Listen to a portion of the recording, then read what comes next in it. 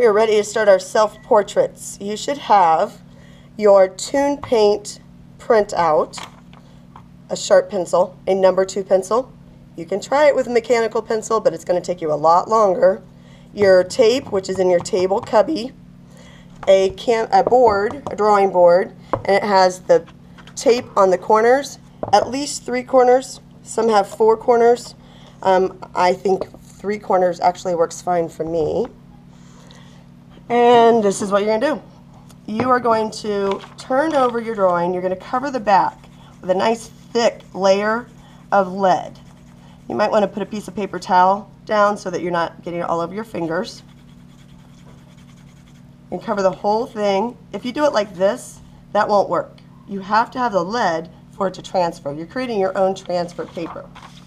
Once you have the back covered, then you're going to put the canvas with the white part touching the lead part. You're going to tape those pieces together just on one side. And you are not going to take that tape off until you are ready to turn it in.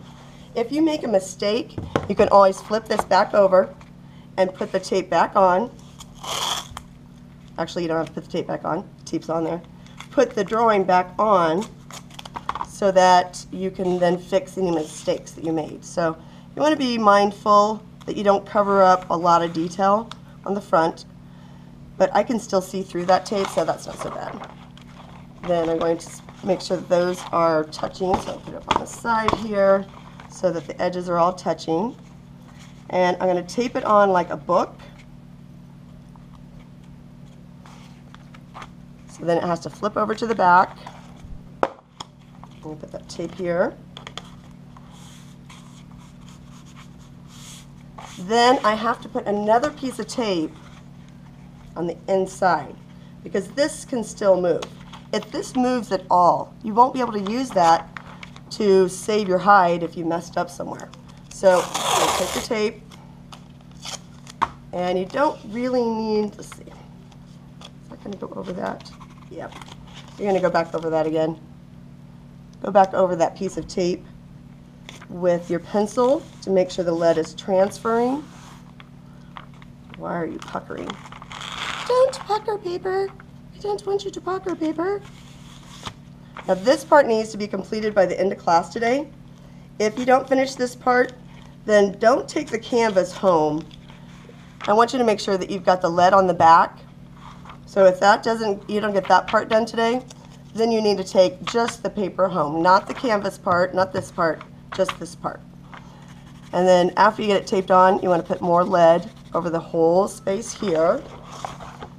And when you start to transfer it, if it's not working well, then either you missed some spots or you didn't press hard enough with your lead. So I would go all the length of this.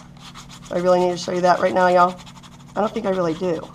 But I promise somebody's going to be like, well, you didn't do it in the video. I know, man. I know. So we'll cover all that tape. And this will work for anything. If you just want to transfer something for a social studies project, whatever. Okay, then you're going to flip it back over and you are going to outline every value, every value that creates a shape. You're going to copy this so exactly, it's insane. You do not, do not need to do the background. That can get a little bit tricky when the background is kind of blending in. So you're going to cover each one of those. You're going to go over. Make sure you're being really careful. Take your time.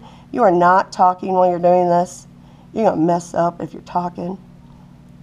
Transfer it as closely to perfect as you can. And it will transfer onto here. So after you get the whole thing transferred, then we'll go on to the next step, but that's what you're going to do now. Get the lead on the back of the paper tape it on, and then draw around each of these shapes. Make sure that you're creating a shape, not just a line. Right here, this is a skinny shape. So she's going to want to go on both sides of that.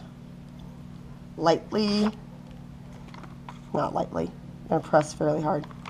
So this is a separate shape than this. You want to try to distinguish between the black, the dark gray, and the light gray, and the white. So each individual shape is created with a different value. Get as insanely detailed as you can. Then this board, you're going to tuck it in underneath these to keep this safe. You are welcome to take the board home. You're going to turn the board in with your project. So get the drawing done and we'll be ready for the next step. Ta-da!